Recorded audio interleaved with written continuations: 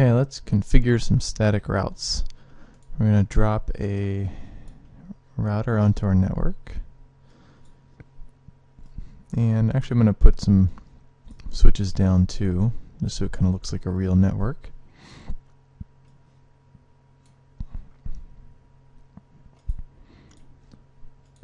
And I think this only has two ports. I'm going to add some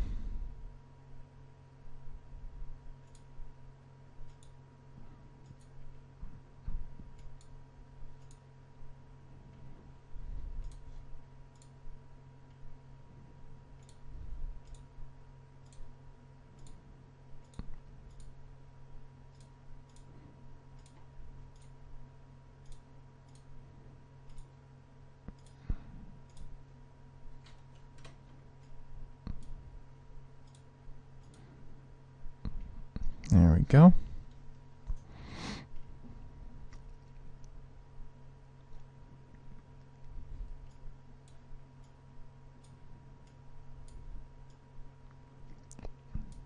And we'll actually add some more too. So what we'll do is bring these a little smaller.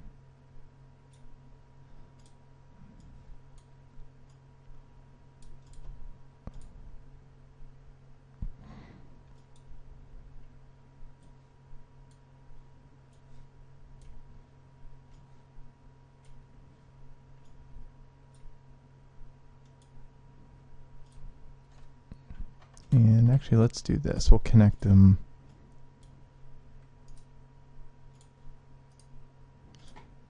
Start all these up. And we'll actually put the switches after that.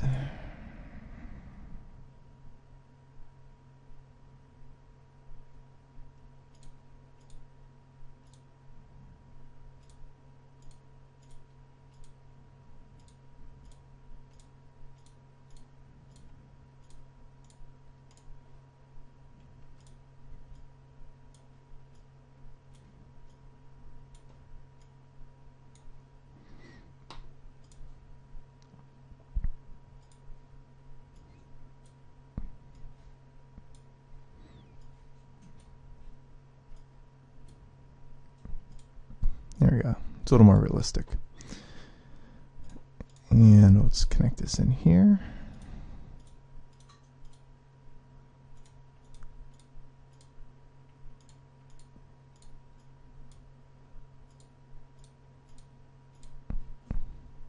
Okay, so now we have some networks. And so we'll we'll IP these and get these going.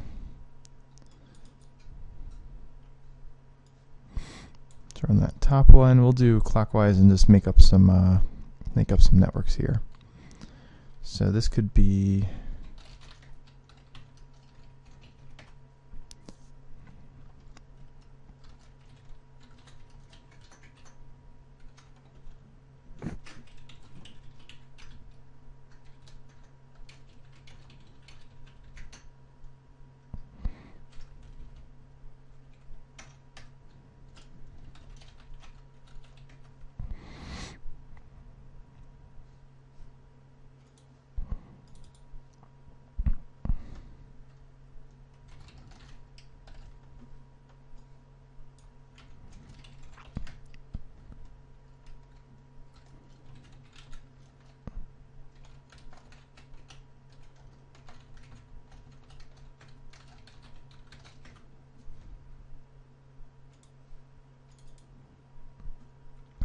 Now what I'm doing is we're just going to create some networks for these switched uh, these switched networks that are on our second routers here. So that way when we're on the central router we can assign some static routes that will go through these routers and to these remote networks. So we're just going into each of these fast etho ones and I'm giving it a list of similar networks and we're no shutting those interfaces.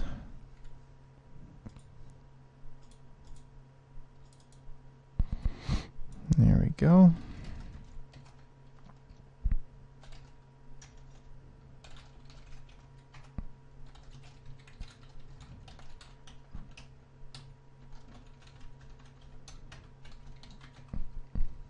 Okay.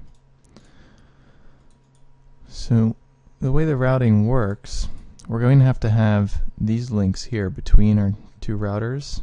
This, uh, this inner ring needs to have an IP scheme for each of these links as well. Uh, now often these will be a serial link when you're talking about routers, but uh, for a wide area network uh, you, you, would have something like that. I'm going to pretend here we have different buildings and the top one is like building 1 and building 2 and building 3 and building 4 and this is like our central office in the middle. Uh, so the Ethernet, you know, they're that's still valid you know, in that kind of idea or something like that. So we're just sticking with uh, copper Ethernet for this example. Uh, we'll break into the serial WAN connections later on.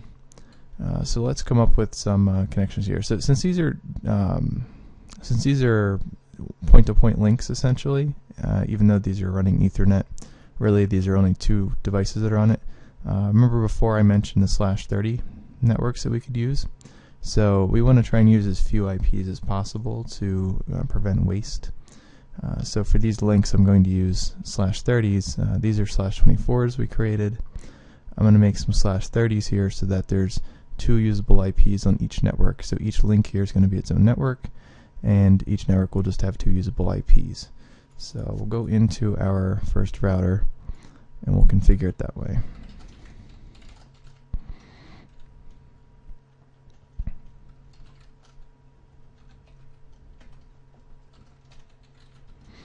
I'm just going to use a 10 dot network for that. That way we have a completely different IP scheme between the two uh, between the two different types of routes we're going to have because the central router is going to have directly connected networks that show 10 something and then we're going to create static routes for 192.168 something. So we're going to do 10 0 0 0 well, this will be the interfaces dot one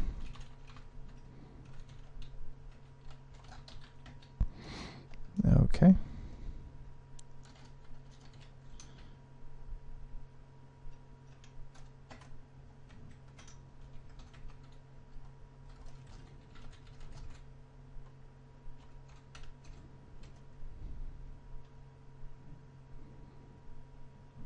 So we'll do that'll be dot one, dot two, dot zero. That'll be thirteen.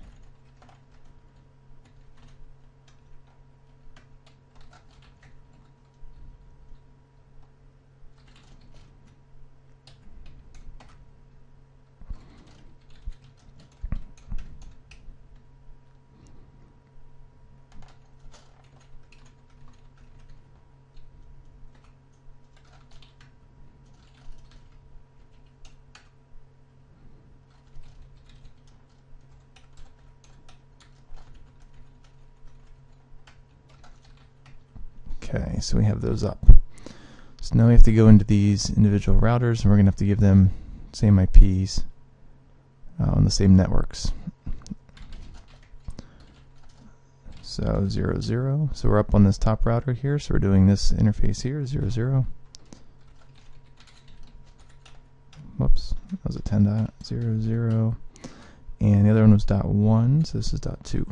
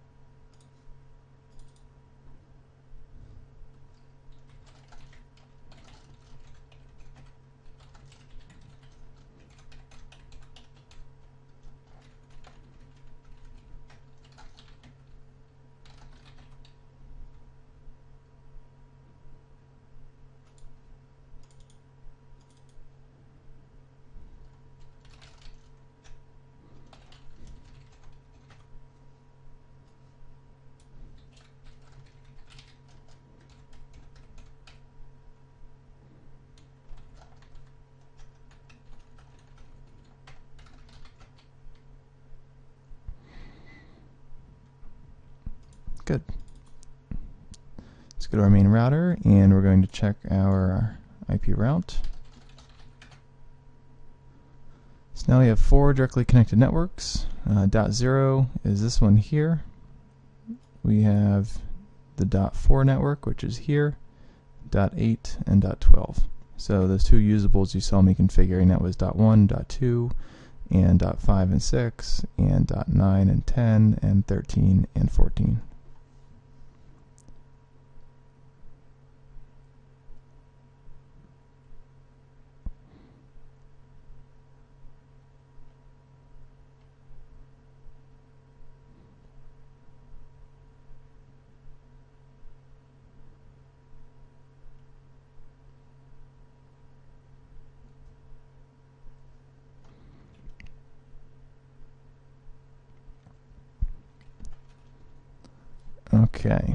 So what we can do now is we'll take a look at one of our routers.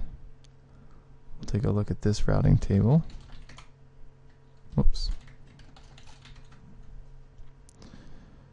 Alright, so this router knows things that this router does not. And we are just going to ignore the duplex errors popping up right now. It's fine. So this router knows about networks that this central router does not because he's directly connected to these this switch network, which is 192.168 dot something. In this example, it's dot two. So what we're going to do is create a static route on the central router so that it knows that in order to get to the 192.168.2 network, to go talk to this router over here. So what we'll do is we're going to configure those static routes now. So in order to do so, you've seen this done with the default gateway uh, gateway of last resort configuration already. So it's IP route and then our destination network. So I'm going to do the top one first. So that's 192.168.1.0, 255.255.255.0. So that's our subnet mask. And then I have to give it a destination. Uh, and remember, uh, it's preferable that you define the interface as well as the IP address for it to leave. So this is going to be, I believe it was the interface it wants first. Yep, okay. So it's going to be fasteth01, and then the other router was at 10.0.0.2. So that interface. So we're leaving FA01. We're talking to 10.0.0.2 over here in order to get to this network up here. And then we're going to do the same thing for that 2 dot network on the right side. We're going to go out 1 slash 0 and we're going to talk to he was dot 6 and then for that bottom one that was dot 3 and we're going to go out the 2 slash 0 interface. And that was dot 10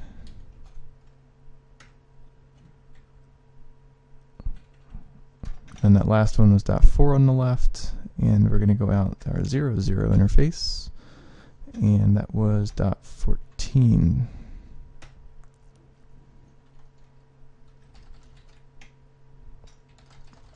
So if we show our routes now, we have the static routes we were talking about. So we have some directly connected, we have some statics, as well as the actual network and the prefix, we have our uh, administrative distance and metric. We have what the IP addresses of the next hop interface, so our next hop destination there, and the interface we're going out. So there's all our information that we just configured.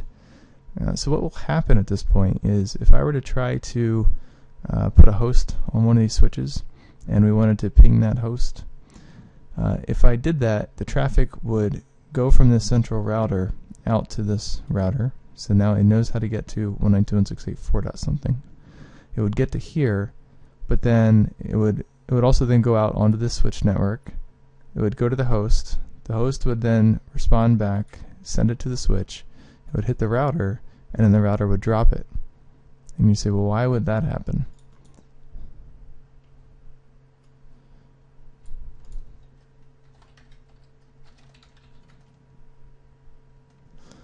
and that would happen based upon how what kind of traffic were generated from here. So If we pinged directly from this router, it would probably work because it would the traffic would be generated starting from most likely this one of these 10 dot address here. So 10.00.12 it would probably originate from. Uh, so it would return traffic, but if we had it a had a network connected off of this router, and this was an actual like central office network, uh, this in turn would have its own IP scheme, uh, and we can create it to display that. So I'm going to create a switch, and I don't think I have any interfaces left, but if I did, uh, I could then connect an additional interface from this router to the switch. This would then have its own subnet, so this could be 192.168.5 or something like that. This router then, if I were to originate traffic from here through this router to this router to this network, the return traffic would go from this network to this router and then drop because this router doesn't know where this subnet came from. So in order to fix that, we would then have to put return routes on all of these uh, outside ring routers. So routers um, 2, 3, 4, 5, they are going to have to have an additional route pointing back to this network here at the central office. So we would have to do basically the same thing uh, on each of these individual routers. We would have to say IP route you're trying to get to the central office network, which, you know, we're just making this up right now, but it would be 5.0 and you need to go out our fast 800 interface to do that. And his IP was 10.00 dot uh, what was that 13 so if I were to do this directly from the router though it'll generate it from that interface uh, so it, the return traffic will work because it will say it came from here and this router obviously knows who that is because he's directly connected to it but I wanted to give that example for a network that's outside of uh, the actual router. There's also a uh, feature, since we're talking about differences of ping and stuff like that, there's also a feature in these uh, routers. If you type ping just with nothing else, you can do what's called an extended ping, and uh, you have a bunch of different options in here, including telling it what interface or what IP address it's originating from. So you can, from this router, say, I want to ping this switch 8 network over here, I could say, okay, I'm going to do that, but I'm going to originate the traffic and pretend it came from this interface.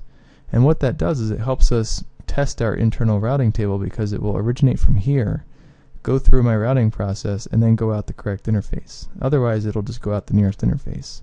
So this is actually pretty handy. So we can say IP, I'm trying to talk to uh, dot four, whoops, four dot 14 how many times I want to do it, what size, some timeout info, extended, say yes. Now I can say what interface do I want it to come from. So I could say this could be coming from my dot one interface, which is this one up here. So it's going to go from up here through my router, through this interface, and hopefully hit uh, this side of this router actually.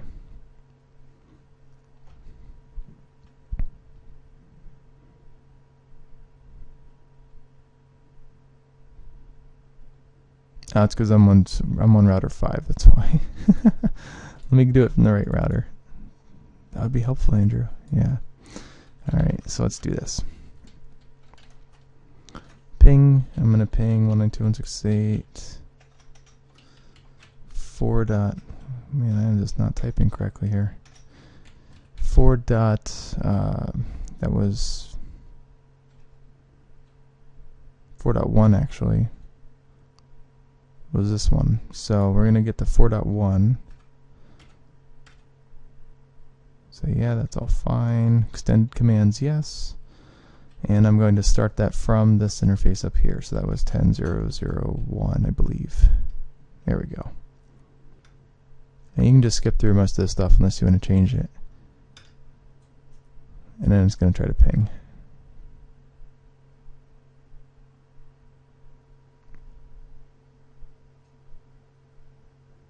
And so that didn't work. So what we would have to do would be to go into router 5, and I'll see if I can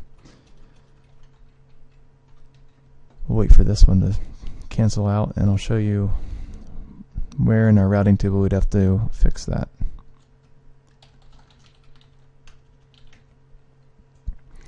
The reason that didn't work is because of what we talked about before where the if it hits the child routes it'll drop if it doesn't match. So router 1, I started a ping from fasteth01 through my router out fasteth00 to his fasteth00 and then tried to ping this fasteth01 over here. So I tried to hit this interface from this interface. And it probably, if I were to capture the traffic, it probably made it there. But then on the return traffic, the router tried to send it back, and it checked its route table, and it said, okay, I need to get back to 10001. Oh, it matches 1000. Uh, does it match 100012? No, and drop. So that's what happened there. Uh, I would expect if we add a route in here to that 1000 network.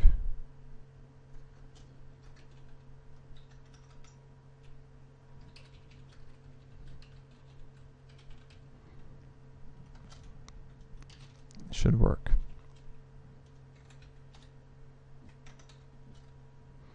And that was available via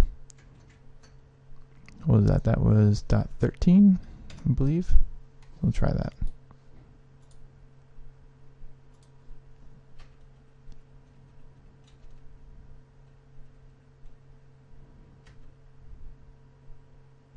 Whoops. Ping, there we go, target IP. Extended shore. I'm going to come from my O1. There we go. Now it works.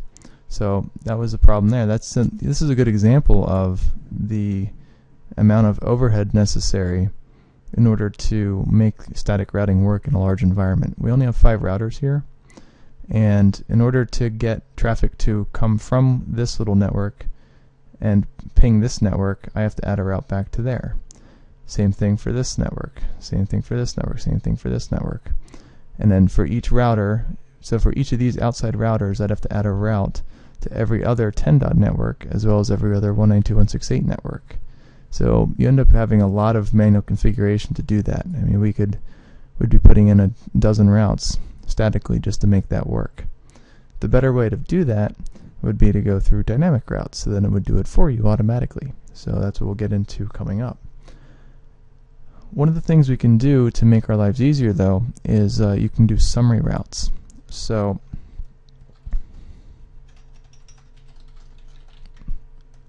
if we take a look at this, we have some 192.168 networks and they all are consecutive. So we have dot one dot two dot three dot four. You can describe all these route all these 192.168 routes with a single route that would encompass all of them because it would have a larger subnet mask and that subnet mask would then match multiple subnets. Uh, the only downfall would be in this situation uh, it could only go one direction. So if we had one route we'd have to say it would go one way. So it would really only work if uh, if we were on say like router 3 and we made a summary route so that it could get to the networks at switch 5, switch 8 and switch uh, what is this switch 7 I think. It's kind of goofy looking